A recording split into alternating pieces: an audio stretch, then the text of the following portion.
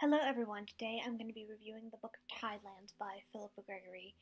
And this is part of a new series that she is writing. I think it, writing. I think it's called the Fairmile series, I believe. And it takes place in the mid 1600s.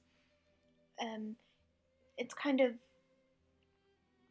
like 40 something years after Elizabeth Tudor, after the Tudors, so um, it takes place during Charles the First. And this story tells the story of Alinor, who is a hardworking woman on Sealsea Island who has two children, um, Rob and Alys, and she is very poor. Her husband has left her, so she's kind of scraping by and taking like odd jobs within the town and then she falls in love with the priest that she meets and just her you know story about that and just about her and the people in the town and then the priest and who he really is and this is all taking place during the trial of King Charles the First. And the one thing that I did like about this book is that it is a really different story. Usually, for the most part, um, Philippa, Philippa Gregory are the ones, the books that I've read. They focus on well-to-do women, royalty, or uh, like duchesses and queens and people that are really well off. But this is one of the first times that I've seen, maybe another book she's read about this, but this is one of the first times that I've seen that she has read about women that are poor and kind of scraping by. And it was really interesting to see, like, a lot of their, even though years and years have passed since the Tudor period, a lot of uh, things, the views about women have not changed. Um, women that were you know, uh, their her husband left her, so she's kind of on. Uh, she's kind of not really looked too well upon as some of the other women that have their uh, husbands at home and that are a little bit more well off. And I really liked seeing that, and I kind of knew that that was the case.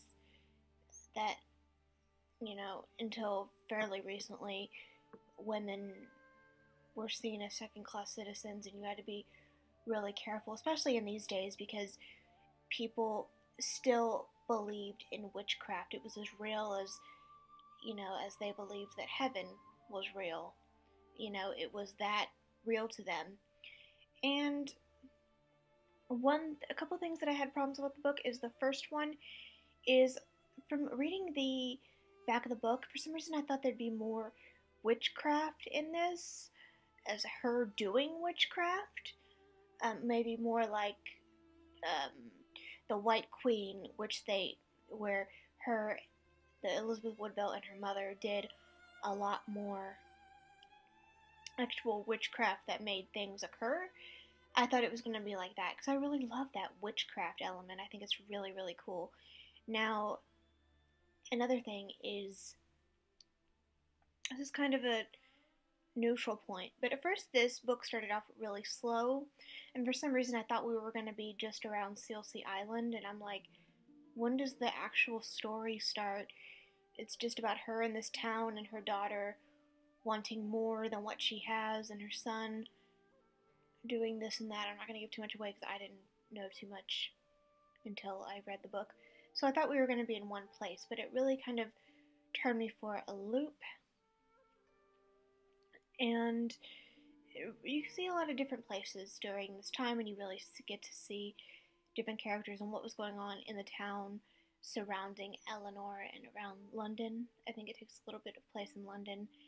And I'm not going to give too much away, but the ending was really a cliffhanger and you can you can really tell that this is going to be a series and I I do want to read. I wasn't sure if I was going to finish this series, but I read it and I think I'm going to finish it. I just want to see what happens to them.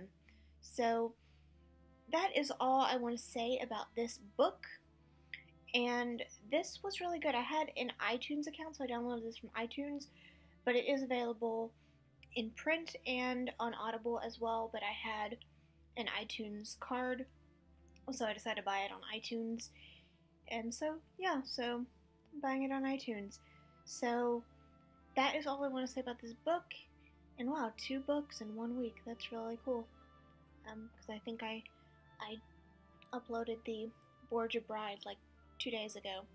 So I will see you all in the next video, and I'm churning them out in 2020. That was that was my New Year's resolution. One of my New Year's resolutions. I'm churning them out in 2020.